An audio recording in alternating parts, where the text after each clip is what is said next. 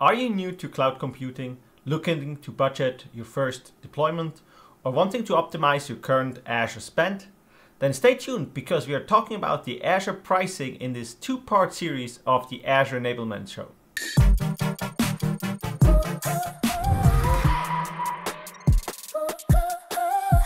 Welcome back to the Azure Enablement Show. I'm your host, Thomas Maurer.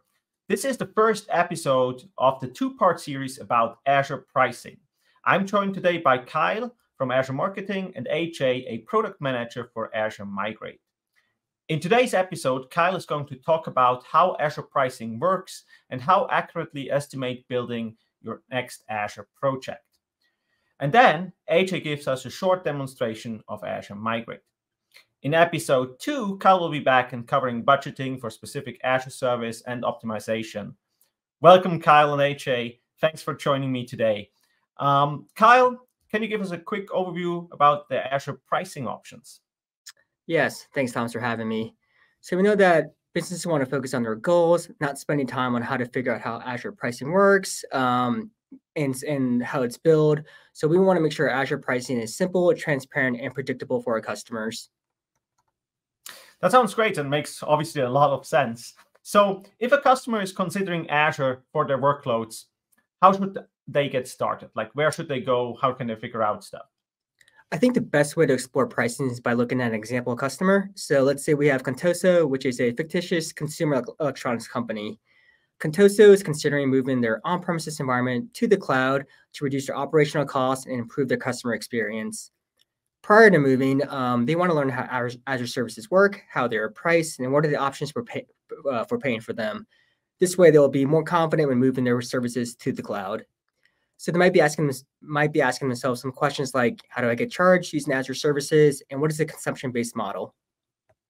That's actually an interesting one. So um, consumption-based models uh, are obviously very famous for in, in cloud, especially.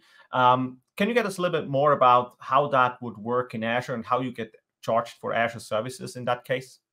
Sure. So Azure offers a pay-as-you-go pricing model for cloud computing. And this falls under the operational expenditure because it operates on a consumption-based model. With, Az- with Azure, you're only paying for the IT resources you use, not for the physical infrastructure, uh, electricity, security, or anything else that's associated with maintaining the data center. And uh, you only pay for the IT resources you use for that month. Also, there's no upfront commitment. So that means you can scale or stop using these services anytime you want, and to help test and learn and um, touch these services uh, more, Azure provides um, the ability to select free products up to up to 12 months once you create an Azure uh, account. So the pay as you go and the free tier account is a great way to um, you know test and get your feet wet within Azure. That sounds awesome. So yeah, I, I agree. So pay as you go is obviously a great way uh, to get started and try things out. But also, if you know not really know what how big your workloads is going to scale right over time and things like that so definitely a great way of doing that so we talked about contoso uh, what would be the next for contoso once they have a better understanding about how azure pricing works yeah, so next they want to be estimating their project cost. Um, they need to know what solutions they want to migrate or build within Azure. And so this comes through like collaboration, internal alignment uh, with their dev team, with their uh, leadership, and so in this example, they want to migrate over their AI powered product recommendation tool.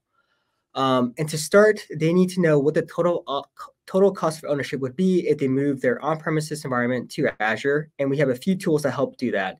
First, we have the TCO calculator, which is the total cost of ownership calculator, and we have the Azure Migrate tool. The TCO calculator helps assess at a high level uh, what the estimated savings would be if a customer were to move um, their on-premises environment to Azure. With Azure Migrate, it's used to help assess, create a more accurate business case, and to plan your migration.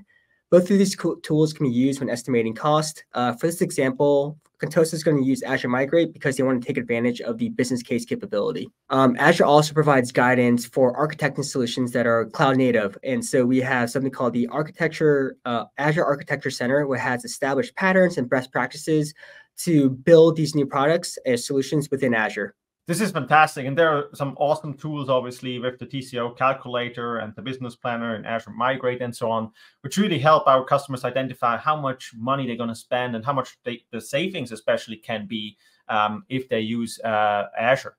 So now let's shift gears a little bit uh, and switch to uh, AJ. Um, so AJ, how would Contoso uh, actually migrate their services and workloads to Azure using Azure Migrate? Sure thing, Thomas. Uh, so let us start by visiting Azure Migrate in the Azure portal. Discover your data center inventory like from VMware, Hyper-V, or public clouds like AWS to understand, uh, gain a comprehensive understanding of your data center estate.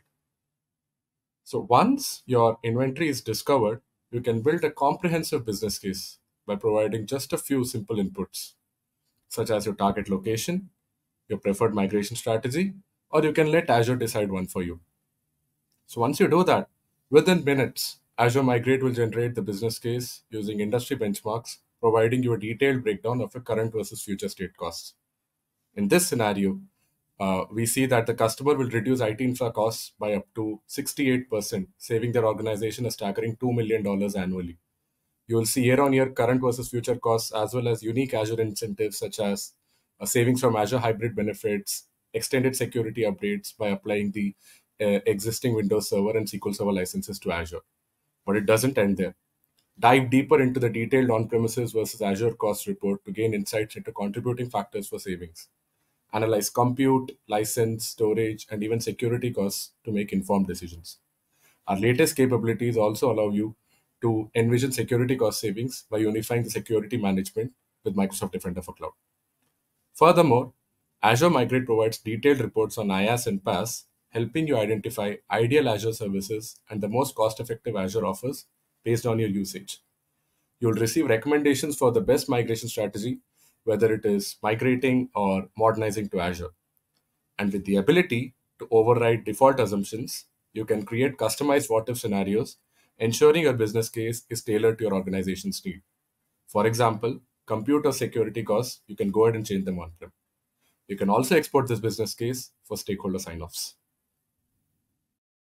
Awesome. Thank you very much, AJ. Uh, this was a great walkthrough through Azure Migrate. In fact, by the way, uh, when I worked with customers to migrate to Azure, this was one of my favorite tools to actually go out and also show them like what savings they can do and also walk them through the different pricing benefits there actually are, right? It's um, sometimes it's hard to discover all these, but with Azure Migrate, you get a real good understanding how that what is available, and then also how it works for their own environments. So again, big fan of that. Um, so Kyle, um, so we uh, now they learned how to estimate um, the project cost and what the project will cost when they move to Azure. What is next for the Contoso team?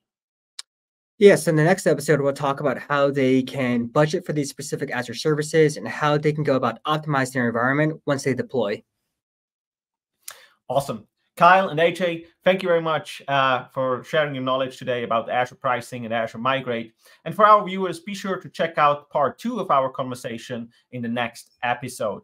And as a reminder, all the links you can find in the description below, uh, which we basically talked about during that video. So thanks for watching the Azure Enablement Show.